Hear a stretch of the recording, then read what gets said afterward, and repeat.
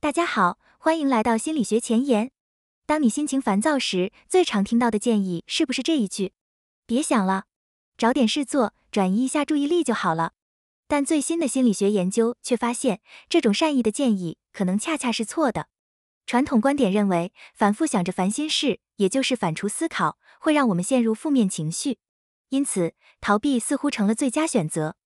但加拿大不列颠哥伦比亚大学的心理学家们。对此提出了挑战。他们在实验中让参与者面对压力，然后比较了两种策略。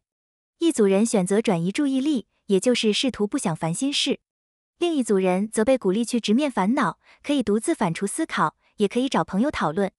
结果颠覆了所有人的认知。那些选择转移注意力的人，虽然短期内感觉好像轻松了，但他们的压力水平并没有真正下降，问题的根源依然存在。而选择直面烦恼的两组人，无论是独自思考还是与人讨论，他们的整体情绪调节能力都优于逃避的那一组。